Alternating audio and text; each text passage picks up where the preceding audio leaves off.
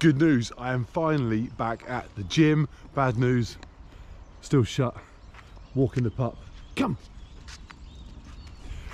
Today is day one of my couch to ultramarathon training program. Uh, it's also a day where I find out if all the subs I picked up from Christmas onwards with all my Zwift videos stick around now that I'm in the great outdoors again. Those guys do love being inside with the cartoon cyclist. Hopefully they will. The message is the same, be above average, set targets, hit them. All the best movies are from the 80s. Yeah, that's right. A lot of them seem to subscribe when I fell off my bike, so maybe I just run into a tree occasionally to keep them hooked.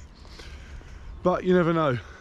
I guess they might just recoil in horror from the sight of fresh air like a, a blade vampire. That's not 80s, but you get the idea.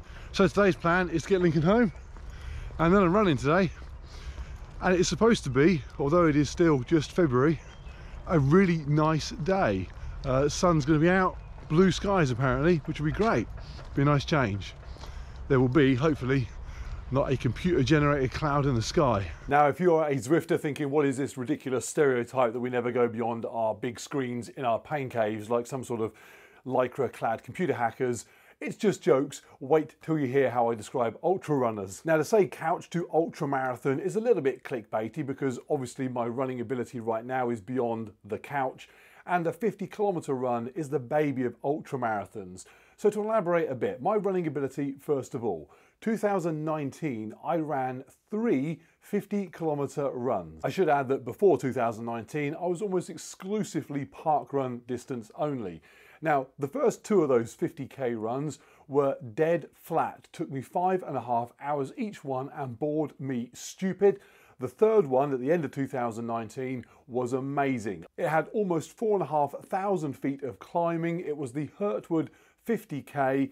I had a target of six hours that I missed by two minutes, but I loved every second of it. I immediately signed up to do their 2020 event and try and get a sub six hour time, but then coronavirus happened. So that basically resulted in me getting the bike. That sent me down an Ironman rabbit hole. So I ended up doing lots of Ironman training. That meant lots of flat marathon running distance at most.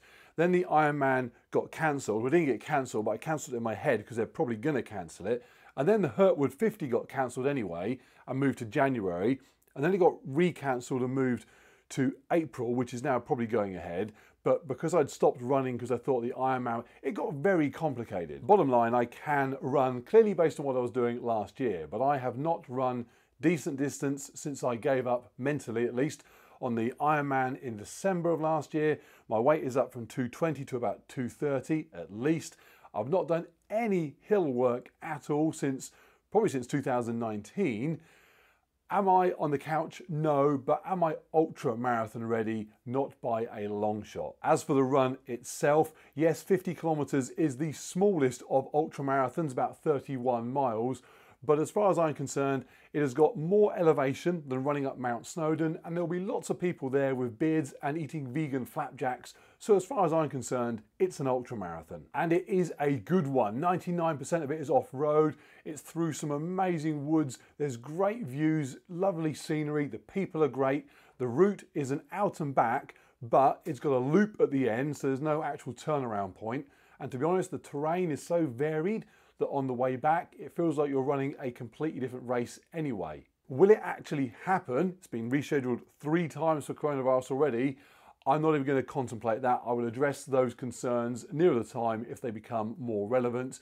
They have said if it doesn't happen now, they will cancel it completely for this year. So, so my training that I'll be documenting over the next six weeks has got four key aspects to it, and in future videos I'll elaborate more on each part.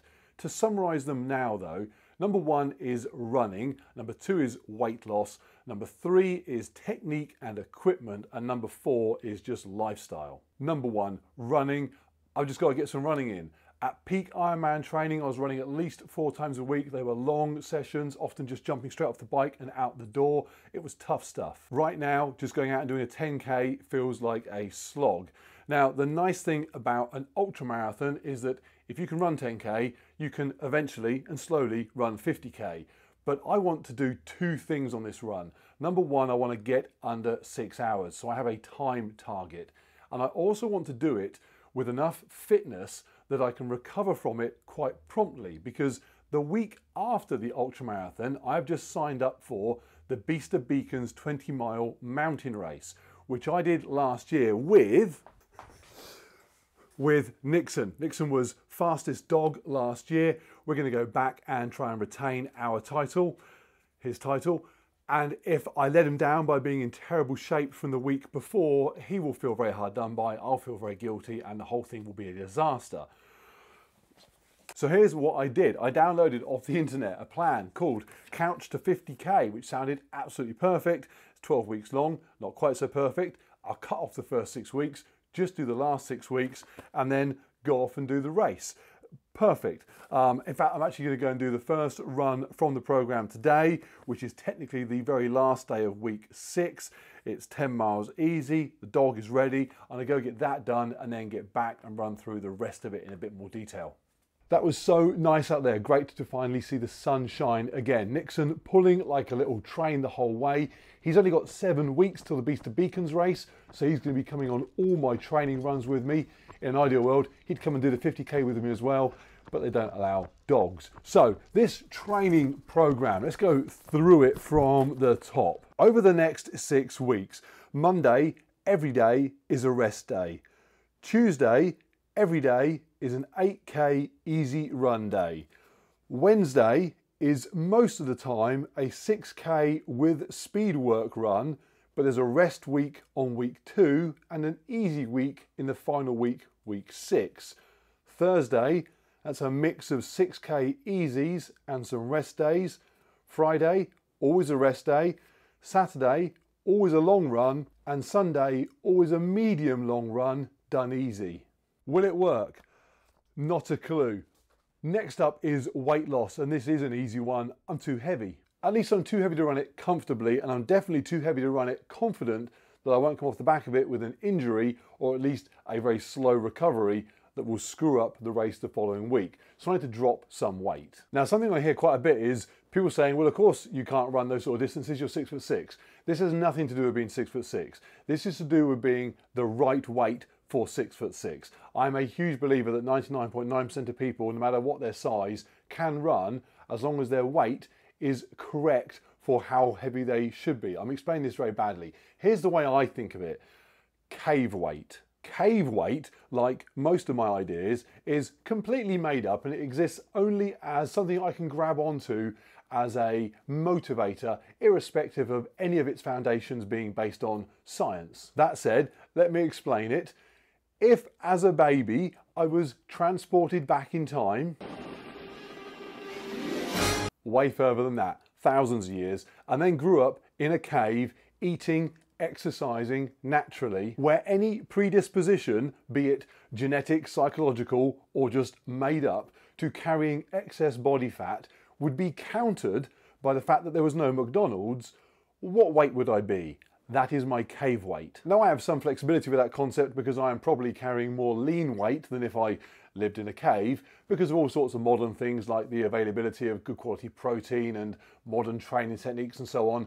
But also I'd have died from an asthma attack at the age of seven in a cave, so flexibility is fine. But what I do need to do is get down from where I am now around 230 to around 215, 220 at tops.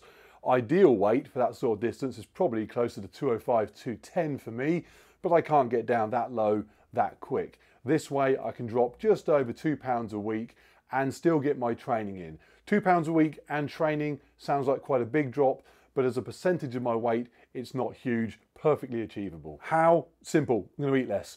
I've got a very simple meal plan that's 2,000 calories a day that ticks two important boxes for me. One is it gives me enough protein between 1.5 and 1.75 grams per kilogram of body weight to maintain the size that I want to maintain going into the race.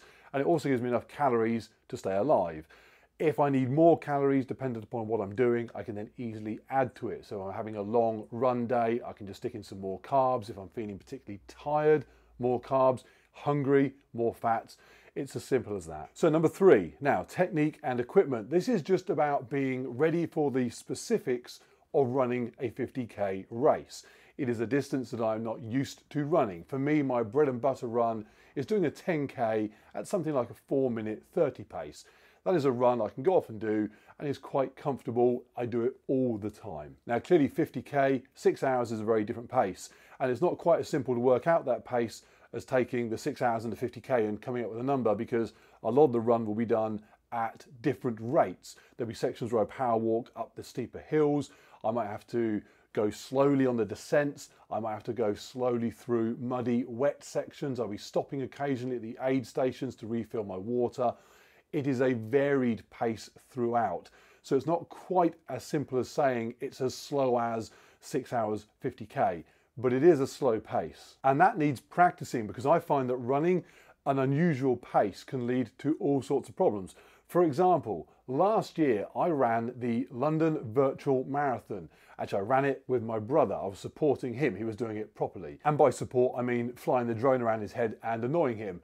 Now, the pace there was much, much slower than I'm used to. And I had the worst post run pain and slowest recovery from a run I'd had in years, literally years. I had sore Achilles, I had sore calves, my knees hurt, my feet felt crushed. I was an absolute mess. I don't know enough to know exactly why that is, but my assumption would be that the alteration in pace to a slower pace meant a change in cadence, a change in my stride, my technique, my gait, and it basically exposed new muscles to stimulation that they weren't used to over a long period of time and I came up lacking. So I need to make these slow training runs slow so I am used to that pace. And I also need to test out the gear I'm going to be running in. The run is supported, there are aid tables, but I don't like to be too heavily reliant on those. I want to be able to carry my own water, my own food, any equipment I might need, uh, lubricant if things start to rub, uh, I'm going to carry my camera, obviously, my phone, bits and pieces.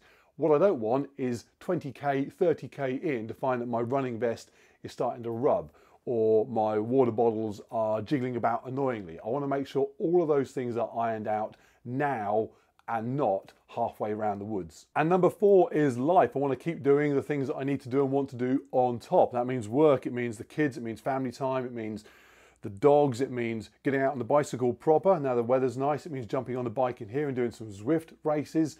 And it definitely means as much as I can in here, lifting still. I want to carry on moving some weight around so I maintain a look and aesthetic that I am happy with.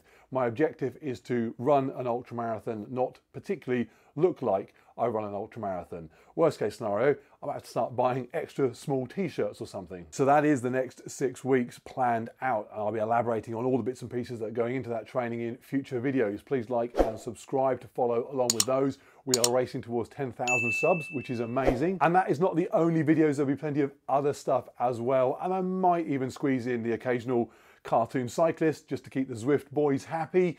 And if that doesn't work, I'll just drop in some clips that I know you all love anyway.